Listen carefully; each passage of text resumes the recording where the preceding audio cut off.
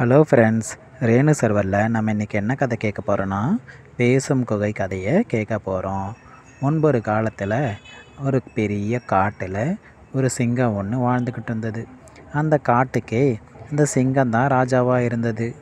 மற்ற எல்லா மிருகங்களும் இந்த சிங்கத்தை கண்டாலே பயந்து நடுங்கி ஓடி ஒளிஞ்சிக்கும். ஒரு நாள் சிங்கம் இறைய தேடி காட்டில் சுற்றிக்கிட்டு இருந்தது.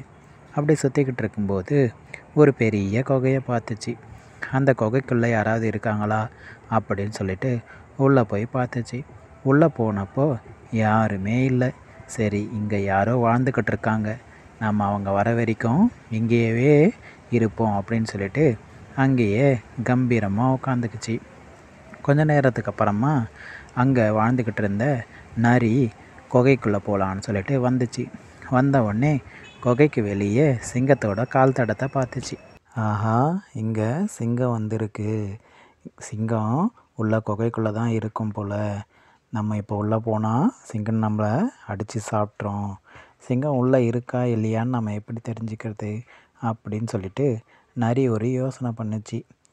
அந்த குகைக்கிட்ட பேசிச்சு ஓ குகையே அப்படின்னு சொல்லிட்டு வேகமாக கத்துச்சு. கத்துன உடனே சிங்கம் "ஆ, வெளியில் இருக்குது அப்படின்னு சொல்லிட்டு அமைதியாக குகைக்குள்ளேயே பதுங்கி இருந்துச்சு மறுபடியும் நரி என்ன சொல்லுச்சுன்னா ஓ குகையே ஏன் என்கிட்ட பேச மாட்டேங்கிற? அப்படின்னு சொல்லுச்சு. உடனே சிங்கம் என்னது? குகை? நரிக்கிட்ட பேசுமா?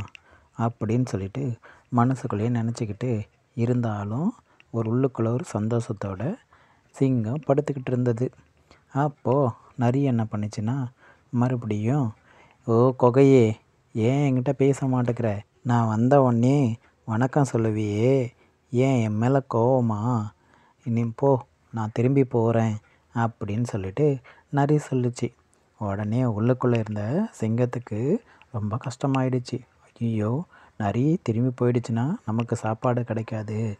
நமக்கு பயந்து தான் இந்த குகை பேசாமல் இருக்கு போல் அப்படின்னு சொல்லிட்டு சிங்கம் என்ன பண்ணுச்சுன்னா தன்னோட கர்ஜனை குரலால் வணக்கம் அப்படின்னு சொல்லிட்டு குகை பேசுகிற மாதிரியே பேசுச்சு.